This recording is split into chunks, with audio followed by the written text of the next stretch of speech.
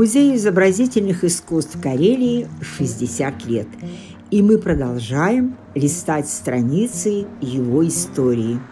Почти четверть века назад Наталья Ивановна Вавилова пришла в этот дом.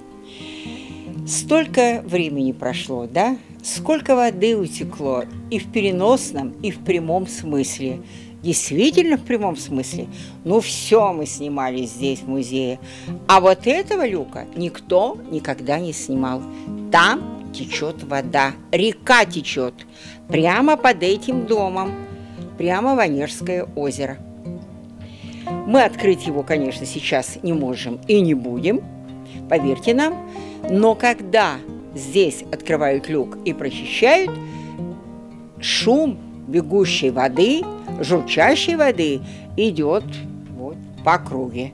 Вот об этом мы узнали, и поэтому пришли и посмотрели. Ну, кроме этого чуда, здесь в музее еще очень много чудес. Нет, не о чудесах, которые, скажем, происходят здесь в ночь музеев, когда и народу немерено, и мероприятий не перечесть. Речь о тех днях, главным девизом которых стал лозунг «Оставайтесь дома».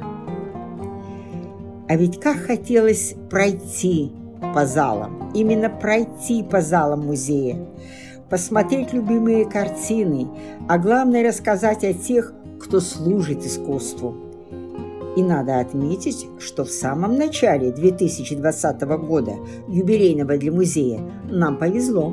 И рассказать о музее – это, наверное, больше, чем рассказать о Карелии, это рассказать о стране, это рассказать о мире. А в мире случился коронавирус.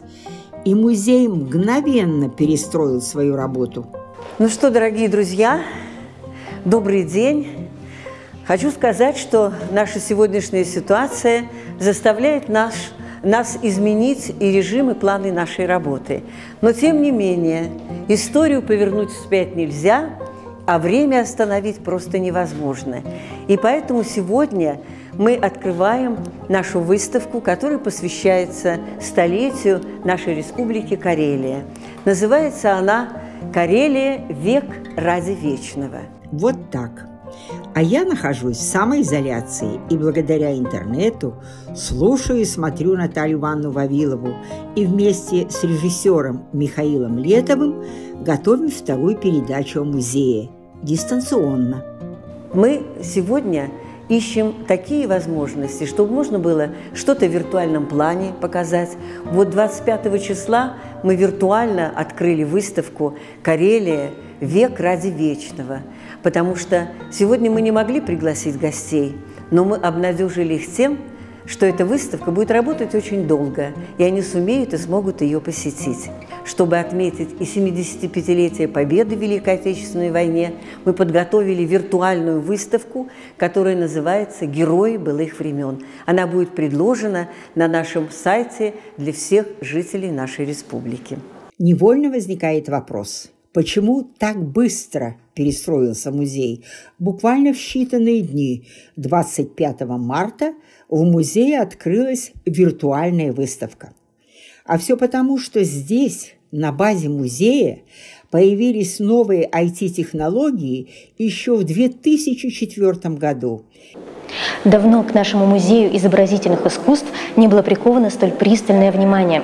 Столичная пресса, первые лица республики и страны и, конечно, вип-персона номер один, президент страны Дмитрий Медведев, пришли в эти залы, чтобы посмотреть, как новые технологии вписываются в такое традиционное дело, как музей. Со времен приезда сюда в 2003 году президента Путина здесь изменилось многое. Рядом со старинными шедеврами теперь уживаются экраны, на которых икону можно чуть ли не в руках повертеть. Новому президенту нравится. И вот это стоит в зале, иконопись, вы можете Можно подойти, посмотреть, посмотреть с увеличением, да, с увеличением. А у вас на цифру много чего заявлено? На цифру заявлено у нас очень много. У нас все 16 тысяч единиц хранения введены уже на электронные носители, угу. и 85% оцифрованы. Да, вот это здорово. Можно самостоятельно выйти в любой раздел, можно выбрать любого художника, сравнить творчество того или другого. Здесь программа предусматривает э, творчество художников и Карелии, и Санкт-Петербурга. Народ-то пользуется? Пользуются дети. По-честному скажите. Ну, дети понятно. А и взрослые. Не, очень удобно. Специально для детей музей разрабатывает образовательные программы. И здесь информационные технологии как нельзя кстати. Привет. Привет. После знакомства с Дмитрием Анатольевичем Егор передумает. Президент оказался совсем не страшный и от мультиков пришел в восторг.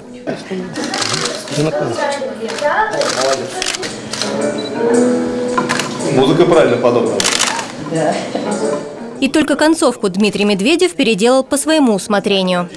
Петя стал реставратором. реставратором а Рома музейным работником. То, чего нам не хватает. Петя стал реставратором, а Рома губернатором. Да. Сегодня реальность изменилась. И, конечно, мы должны выбирать пути, по которым нам предстоит жизнь. Потому что, несмотря на то, что у нас во всем мире сегодня большая беда, эпидемия коронавируса, поэтому мы сегодня перестраиваем свою работу. Ведь жизнь не останавливается ни на секунду, часы идут вперед, и никто не может остановить эти стрелки. Поэтому мы тоже, понимая всю ответственность за то, что мы должны соблюдать все требования, чтобы наши люди были в безопасности, мы продолжаем жить и работать. Безусловно, находясь в музее, мы действуем, исходя из той ситуации, которая вокруг нас. Это э, экономическая ситуация, да, это социологический, социальный какой-то срез, и в том числе геополитика. И сегодня э, нами, был, нами будет реализован проект, который называется «Музей в фокусе. Развитие новых услуг для китайских туристов». Это проект «Победитель программы приграничного сотрудничества», который называется «Карелия». Это проект между э, Россией и Финляндией, когда две пограничные территории собираются, в общем-то, совместно решать общие проблемы. А какая проблема? Проблема в том, что еще совсем недавно Петрозаводск был достаточно такой а, активным а, туристическим городом, куда приходили десятки пароходов ежедневно, куда приходили огромные поезда. А сегодня э, тренд сменился.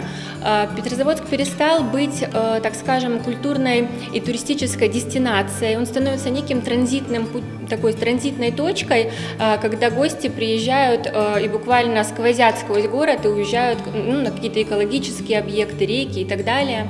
И мы решили, что мы должны как-то изменить эту ситуацию внутри. У нас огромное наследие, у нас огромный потенциал, у нас шикарная коллекция художников, которые иллюстрировали Калевалу.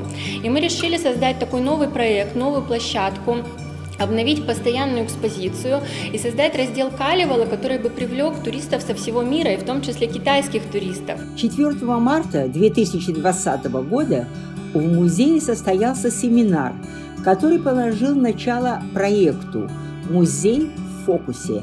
Развитие культурных сервисов для китайских туристов». Реализовывать этот проект наш музей будет совместно с музейным объединением города Йоинсу, Финляндия. Это в рамках приграничного сотрудничества. Причем наш музей будет ведущим партнером в этом проекте. Конечно, были такие мнения, стоит ли вообще проводить подобный семинар в период коронавируса. Но видя, как быстро меняется обстановка в мире и в Китае – сомнения развеялись. Мы э, поворачиваемся буквально на 365 градусов, может быть даже не на 360, э, чтобы стать новой заметной точкой не только в городе, но и в республике, а может быть даже в России. И сегодня музею это под силу, у нас есть кадровые ресурсы, у нас есть экспертиза, у нас есть партнеры, у нас есть финансовые ресурсы, полученные из небюджетных источников, и мы уверены, что такие инициативы э, действительно будут работать на благо республики на десятилетия вперед. Вот вы говорите иероглифы на китайском. Я думаю, э, работаете с международными проектами. Какими языками владеете? А, мы на самом деле очень активно стажируемся. А, например, в течение прошлого года а, мне удалось побывать на стажировке и в Лондоне, и в Париже, и в Берлине, и в Сколково я обучалась в Московской школе управления. И я вижу те глобальные тренды, которые происходят, которыми сегодня интересуется мир, и, безусловно, эти лучшие практики, наработанные именно иностранными партнерами, мы приносим в музей. Что у вас сейчас в работе? А, сейчас у нас в работе новый проект. Это проект, который был поддержан фондом президентских грантов. А, проект, направленный на социализацию людей а, с особенностями развития, прежде всего людей с аутизмом. Мы сегодня понимаем, что сегодня все больше людей рождаются с особенностями. Более 1% детей сегодня рождаются с аутизмом. Музей становится более инклюзивной площадкой, и мы делаем новые услуги для таких людей и хотим сделать так, чтобы музей стал более доступным. А в этом году мы откроем в музее сенсорную комнату.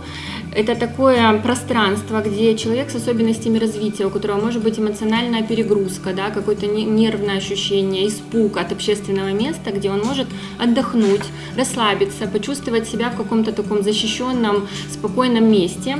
И сегодня с дизайнерами Санкт-Петербурга мы разрабатываем новые такие уникальные арт-терапевтические модули, которые будут впервые созданы в России. Наш музей как бы будет пилотной площадкой в России. И на основе этих модулей будет создана целое пространство, которое в дальнейшем может трансформироваться а, под любой музей, под любую общественную площадку с учетом а, ну, особенностей, например, скажем так, бюджета и потребностей любого другого учреждения.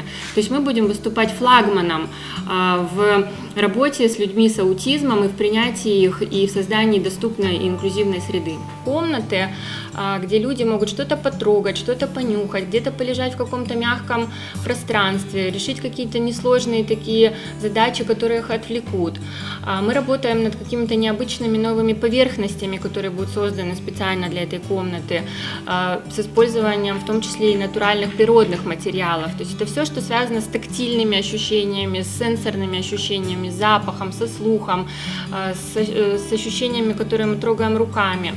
То есть на этих фотографиях некие примеры, но то, что будет создано, мы увидим ну, через год где-то примерно. А, это фонд президентских грантов нас поддержал. Мы в партнерстве с дружественной некоммерческой организацией Центр экологии и культуры выиграли грант в этом году в размере ну, практически 500 тысяч рублей на создание этой комнаты. И в музее выделено уже э, пространство, где мы будем это реализовывать. Все инициативы, связанные с э, особенными людьми, связанными с людьми с инвалидностью, с ограниченными возможностями, мы реализуем исключительно за счет внебюджетных источников.